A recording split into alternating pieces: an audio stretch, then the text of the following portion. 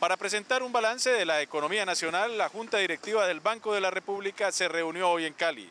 La Junta Directiva Nacional del Ente Financiero participó en pleno en la reunión semestral de los gremios económicos del Valle del Cauca.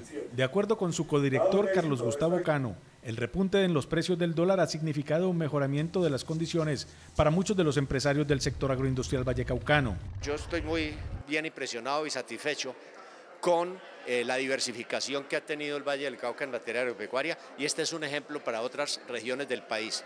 La gran, la gran apuesta que tiene que tener Colombia, no solamente para el mercado nacional, sino sobre todo para los nuevos mercados internacionales, es la agroindustrialización o la reagroindustrialización, no necesariamente apostándole a los mismos productos, sino a nuevas oportunidades.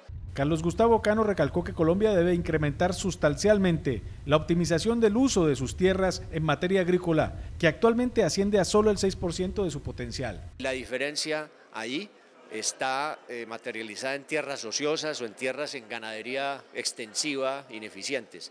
Esa distancia hay que cerrarla. Y en buena parte del país, no es, el no es el caso del Valle del Cauca, donde existe este mayor conflicto, en buena parte se debe a la ausencia de tributación, de tributación predial.